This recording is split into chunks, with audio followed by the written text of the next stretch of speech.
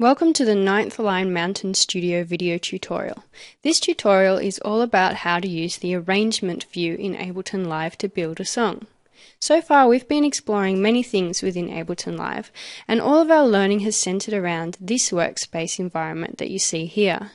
This workspace is called the session view and it's particularly good for building beats and melodies, trialing out different beats and melodies together, and working with audio sampling. What you might not have known is that there is a whole other working area within this program that is designed specifically for building all of these elements into a song. And so building a song involves making decisions like, I want the song to start with this synth line on its own, and then after that loops four times, I want that drum beat to come in, and then I want the bass to come in at the same time that the original synth line changes key, etc., etc.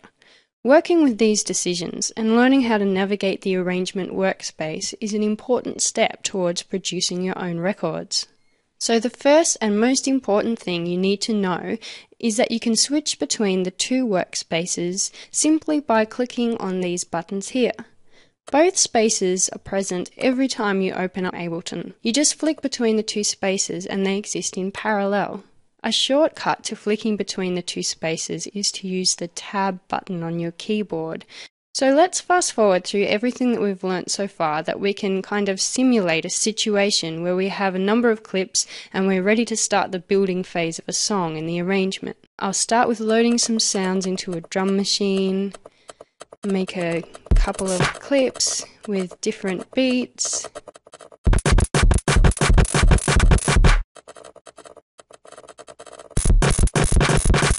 And now I'll add a bass line. I'll add a new MIDI track by going to create and then insert MIDI track. I can drag across a bass preset synthesizer.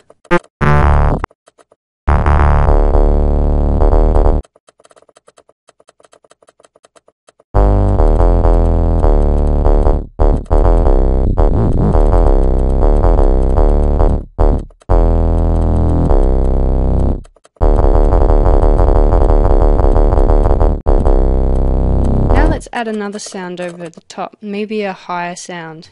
I'll create a new MIDI track again, add another synth preset, and really change that a bit there. And create some clips so we've got a few layers happening there in the song now.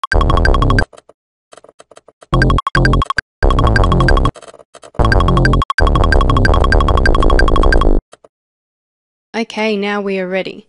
Let's get started. The simplest way to get started in the arrangement workspace is to record in what you're playing live from this session view here. If you use these controls at the top, this is what we call the transport controls, you'll be able to record in what you're playing. Just hit record and then start to click play on the clips that you want to record in. Remember that if you arrange your clips into scenes, it means you can hit play on a number of them at any one time. You'll notice that this small section of the screen starts to move and has coloured bars on it. That's like a sneak preview of what's being recorded in the background, so you can be sure that everything's working as it's supposed to. Right, so let's press stop or hit spacebar to stop the recording and then navigate over to our arrangement page to check what happened. And there it is. We can press play and hear what we've recorded and check we like it.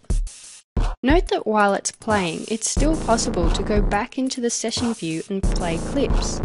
You might want to do this to trial a different clip at any one point in the song, but whenever you do this, the button up there lights up in red it acts as a kind of warning to let you know that you're hearing something different to what you have stored in the arrangement view.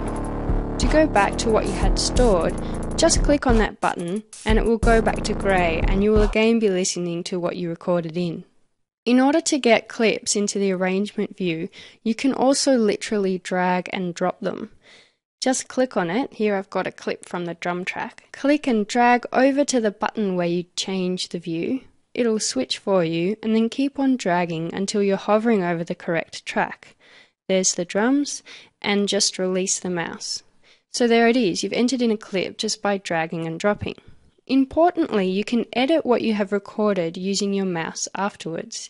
This is the most common way of building songs because it allows complete control and there isn't the pressure of having to do a one take wonder. Even if you're the kind of person who prefers to kind of go with your heart and, and play something in live, you'll nevertheless want to use the mouse to edit up any mistakes afterwards. A lot of the editing methods are similar to what we have learnt when editing beats and melodies.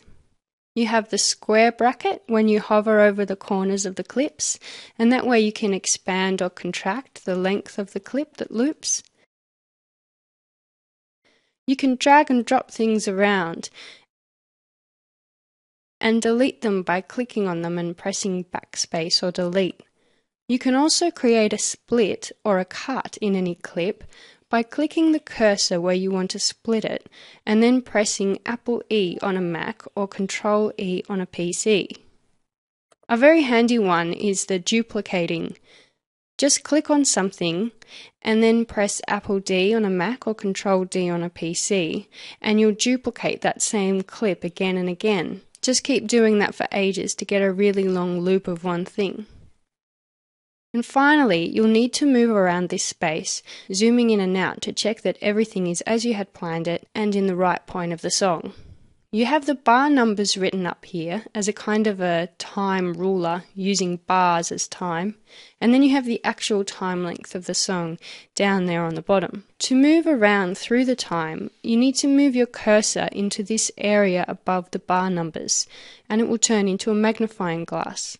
Now click and drag up and down to zoom in and out. Then you can drag left and right to head backwards or forwards through the song. You can have a play dragging in all directions if you want. It's a bit weird at first, but it becomes very intuitive because you can eventually navigate to any particular time or with one movement of the mouse. Okay, so let's assume that I'm happy with this arrangement. I'll just save it there into a folder that I'm creating for my new record.